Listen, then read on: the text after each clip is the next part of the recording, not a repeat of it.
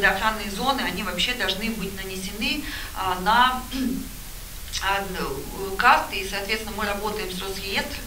то есть водоохранные зоны у нас все сопровождаются межевыми кадастровыми делами, и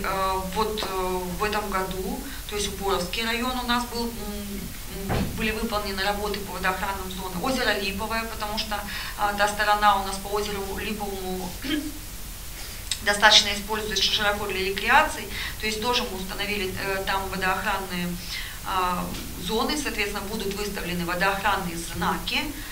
191 а, знак у нас уже выставлены в этом году, это в Ишимском, Казанском, Тюменском районе, потому что Тюменский район широко используется для отдыха и рекреации, и мы говорим о том, что в любом случае предупреждающий знак для нашего населения, что это граница водоохранной зоны, он э, положительно сказывается на все-таки соблюдение гражданами и физическими и юридическими лицами а, правил, а, которые трактуются у нас в Водном кодексе, а, которые говорят о том, что да, действительно, что запрещено у нас, какие виды деятельности запрещены у нас в водоохранной зоне.